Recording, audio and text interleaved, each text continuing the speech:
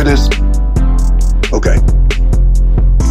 Starting on our hip hop tracks, trap, you know. Ready?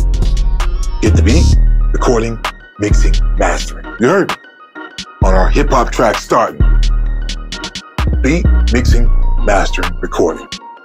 And man, you go on a beat site, it's more than that for exclusive rights.